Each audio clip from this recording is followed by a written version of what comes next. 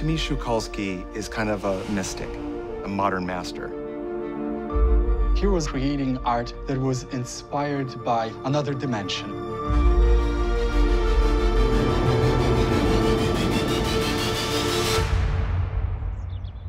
I thought he was dead, and he lives like five miles away from me. Is this bill collector? Come in, I have something very important to tell you. You could just tell this guy was pent up to tell his story.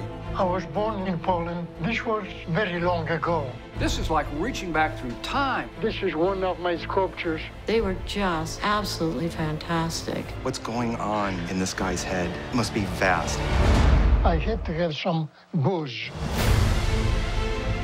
He was almost like a punk or something. Art critics are parasites. He threw the guy down a flight of stairs. I'm not sure he thought people were lesser, This is very strong arm. but I know he thought he was the greatest. Genius.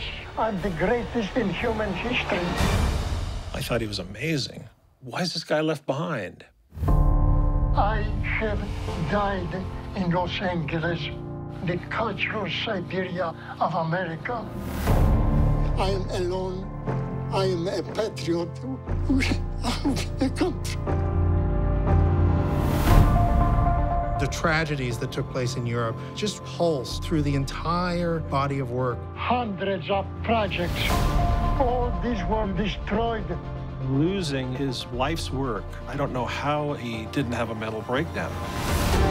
We had no way of knowing what these things connected to in his past. We were all blindsided.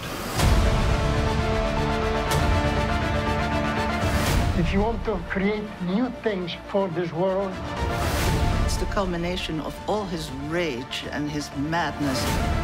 never listen to anybody. Szukalski was Michelangelo of the 20th century. We need to rewrite the history books.